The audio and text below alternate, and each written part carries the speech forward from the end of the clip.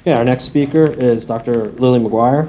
Uh, Dr. Maguire is an assistant professor in the Department of General Surgery, and she was going to be speaking on the genetic basis of diverticulitis.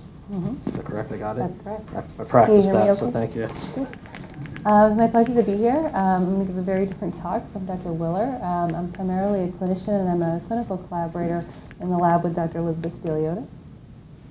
Going to talk a lot about the phenotype, which is one I operate on a lot, which is diverticulitis. This is a very common colorectal disease. Um, the precursor lesion, which you can see is outpouchings of usually the left side or sigmoid colon, is ubiquitous and present in essentially uh, 60 to 70 percent of the older uh, European and North American population. A small fraction of these people go on to have diverticulitis, which um, is defined by inflammation and superinfection of these outpouchings. This can present as left lower quadrant pain, fevers, and progress on to free perforation of the colon, peritonitis, and sepsis, uh, which is generally where I get involved. I study diverticulitis because it's common and morbid. The incidence is increasing. It's increasing particularly rapidly in younger individuals under the age of 40. Our traditional etiologic theories, which are entirely environmental, appear to be overly simplistic and really don't explain the spectrum of disease that we see. Our standard treatments are under scrutiny um, to the point where our randomized controlled trial of standard medical therapy has shown no benefit over placebo.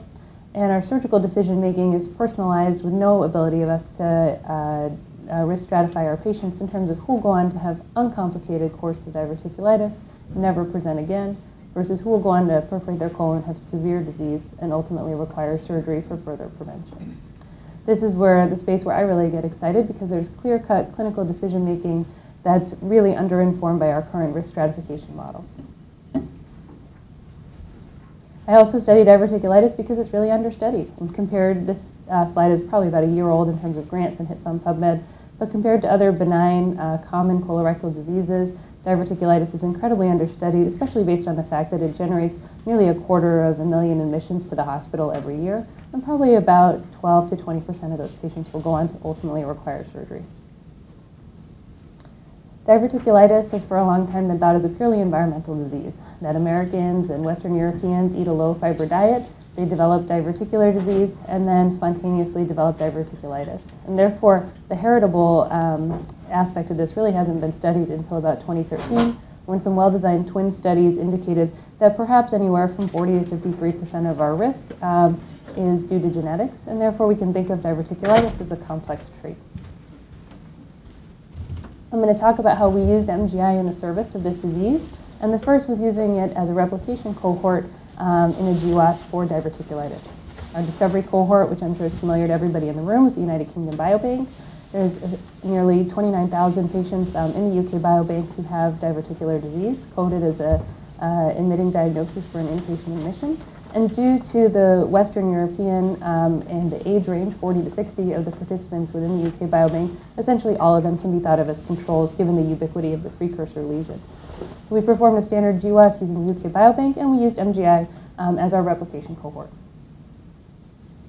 Uh, we identified 40 genome-wide significant loci, including three that had been previously seen in a smaller Scandinavian GWAS.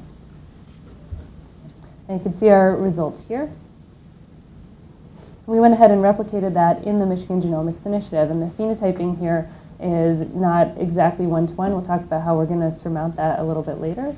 Um, but we did find replication of nine of our 40 loci within the Michigan Genomics Initiative. These 42 loci map to 99 genes. Oops, sorry. And in picking my sort of favorite genes here, um, some of them were particularly interesting based on the mechanism of action either involved in immunity, the extracellular matrix, membrane transport and signaling, or intestinal motility.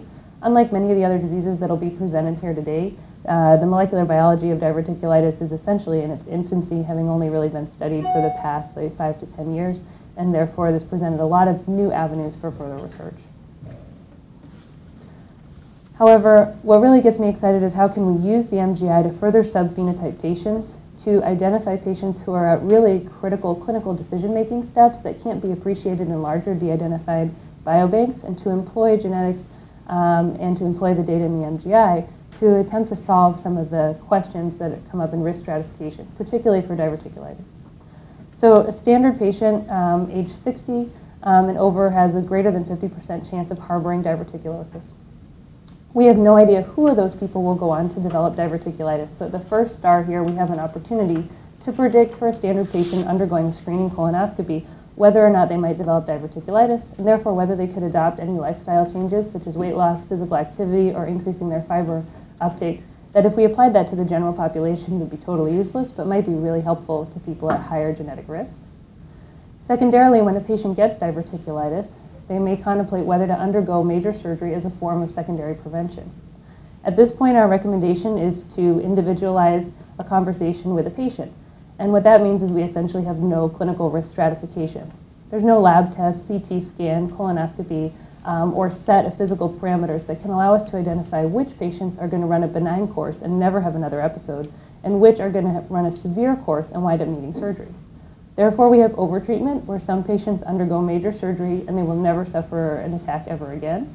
And we have undertreatment, where some patients um, will undergo multiple attacks before undergoing an eventual inevitable surgery.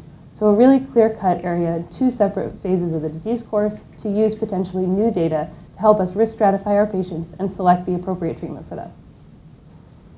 This is a little bit hot off the press, and so it's very preliminary. I think this data is from like a week ago.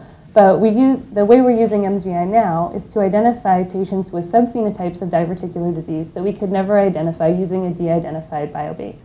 So we have asymptomatic patients, and we want to be careful how we define those. Unlike UK Biobank, where essentially everyone's a Northern European, 40 to 60 years old, and therefore harbors the precursor lesion, the MGI is um, a much more diverse population, younger population, in the surgical sample. Therefore, we identified asymptomatic patients as those who acquired a diagnosis of diverticular disease on the day of a colonoscopy and never went on to have a billed visit for diverticulitis. We identified patients with mild disease as those with one inpatient or innumerable outpatient visits for diverticulitis, but never underwent surgery or percutaneous drain placement, which are some of our more common interventions. And we identified our severe phenotype as people who either were admitted to the hospital more than once, who underwent surgery, or who needed a percutaneous interventional radiology procedure to deal with a contained perforation of diverticulitis. What's nice is we also obtained um, uh, EHR access to all of these, and we've um, gone through and subphenotyped all of these patients and done a thorough chart review on them, so we can also appreciate factors that can't be um, essentially extracted from um, ICD-10 coding, such as like extent of disease, extent of surgery, um, and uh, different factors like immunosuppression, smoking status, BMI, et cetera. So we can really bring this into utility in a clinical context when we're looking at a whole patient. So we've poly done polygenic risk scoring in two settings and have, at least at this point, very preliminary but significant signals. Um, we do have a significant finding of, uh, for polygenic risk scoring from diverticulosis to diverticulitis, which again could be useful potentially in predicting who might go on to have um, disease at all. And then looking at severity and trying to determine who might go on to have more severe disease and maybe come up with a clinical risk prediction tool, we also have a significant signal. Again, very early days, and happily we have a third cohort um, at collaborators at Vanderbilt and Penn who are willing to help us refine this. So very early, hot off the press data, but at least interesting and at least seeing a signal. Finally, um, I think it's important as a clinician to not just impose tools upon the clinical world, but to understand how they will be enacted into clinical practice. And so to do that, we want to understand how people are making decisions in a data-free zone. When I'm seeing a patient in my office or my colleague across the state is seeing a patient in his office, in terms of when to perform a major surgery in a risk prediction-free zone, how do we make that decision? And in order to understand that, we've performed qualitative interviews with surgeons in academic, private, um, and military practice throughout the country to determine some baseline decision factors. We've also harnessed the power of the MGI to recontact patients to perform focus groups and structured interviews. And when we have our polygenic risk score refined and up and running, um, we're collaborating with Lisa Prosser, um, who's also here in the School of Public Health, to perform discrete choice experiments and understand when and how a polygenic risk score or genetic tool uh, could be applied most appropriately to the patient. Um, so in summary, diverticulitis is a very common disease. We're operating in a risk-free zone or, or a risk stratification-free uh, zone where clinical factors have failed to predict disease severity or guide us in how we select the appropriate choice for patients.